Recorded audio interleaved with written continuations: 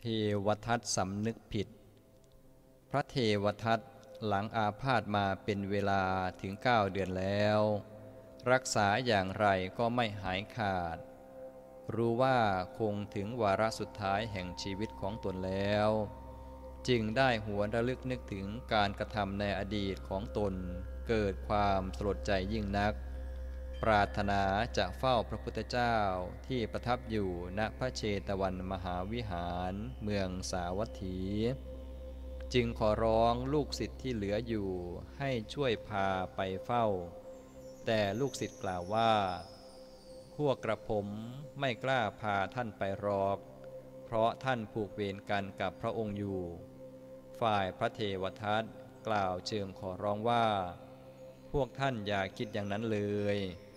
เราอาจผูกเวรในพระองค์ แต่ว่าเวรแม้สักว่าความโกรธสักหน่อยหนึ่ง ย่อมไม่มีในพระทัยของพระพุทธเจ้า การไปครั้งนี้เราต้องการที่จะขอขมาโทษต่อพระองค์ เมื่อลูกศิษย์ทนคำรบเร้าของท่านไม่ไหว ได้ให้ท่านนอนบนเตียงแล้วพากันหามไปสู่พระเชตวันนั้น ภิกษุทั้งหลายทราบข่าวว่าพระเทวทัตกำลังเดินทางมาขอเข้าเฝ้าพระพุทธเจ้า จึงนำข่าวนี้ขึ้นกราบทูล พระองค์ตรัสว่า ในอัตภาพนี้เทวทัตได้ทำกรรมอันหนักมาก ไม่อาจจะได้พบพระพุทธเจ้าอีก ต่อจากนั้นภิกษุกราบทูลเป็นระยะระยะว่า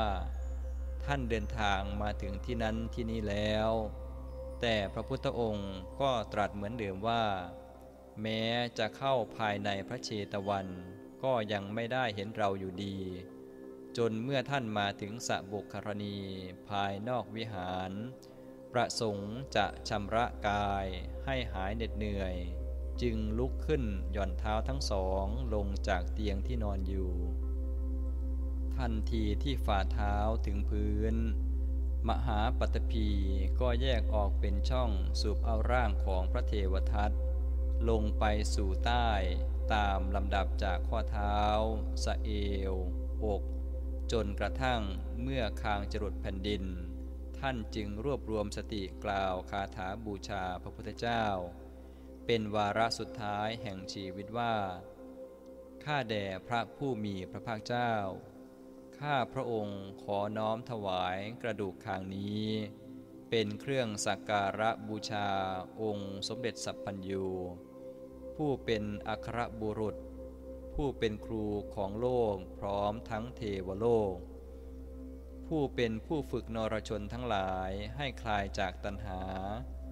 พระองค์ผู้มีพระสมันตะจักสุโดยรอบ ข้าพระองค์ ขอถึงพระองค์เป็นที่พึ่งในการละบัดนี้ เมื่อกล่าวจบลงร่างของท่านก็ถูกสูบกลืนหายไปในแผ่นดิน ไปบังเกิดในอเวจีมหานรกด้วยผลของอนันตริยกรรมนั้น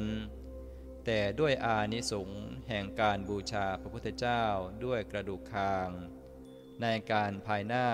เมื่อพ้นจากกรรมนั้น จากได้ตัสรู้เป็นพระปัจเจกพุทธเจ้านามว่าอัติสระ ฝ่ายพระเจ้าอาชาติศัตรู นับแต่ปรงพระชนพระบิดาก็มิได้บรรทมหลับเป็นปกติสุขเหมือนที่ผ่านมา ด้วยทรงพระสุบินนิมิตในทางร้ายตลอด จนต่อเมื่อหมออาชีวกโกมารพัฒพาเข้าเฝ้าพระพุทธเจ้า และได้ฟังธรรมคือสามัญญผลสูตร แล้วค่อยคลายความกังวลพระไทย แต่ก็ไม่อาจบรรลุมรรคผลใด ๆ เป็นแต่เพียงพูดถึงไตรสรณะ ภายหลังได้เป็นผู้อุปถัมภ์ในการทำปฐมสังขายนา เมื่อพระเจ้าอาชาติศัตรูทูลลากลับแล้ว พระพุทธองค์ตรัสกับภิกษุทั้งหลายว่า พระราชาพระองค์นี้ หากมิได้ทำอนันตริยกรรม คือการปรงพระชนพระราชบิดาธรรมที่เราแสดงในวันนี้จะมีผลทำให้พระองค์บรรลุธรรม ขั้นต่ำคือโสดาบัน แต่เพราะทรงคบมิตรชั่ว พระองค์จึงต้องไปเกิดในโลหะกุมพีนรก เมื่อสิ้นวิบากกรรมนี้แล้ว ถึงจะได้เสวยผลแห่งสุคติ อันเป็นส่วนที่พระองค์ทรงอุปถัมภ์ทำนุบำรุงพระพุทธศาสนาต่อไปท้ายที่สุด พระองค์จักได้เป็นพระปัจเจกพุทธเจ้า นามว่าชีวิตวิเศษะ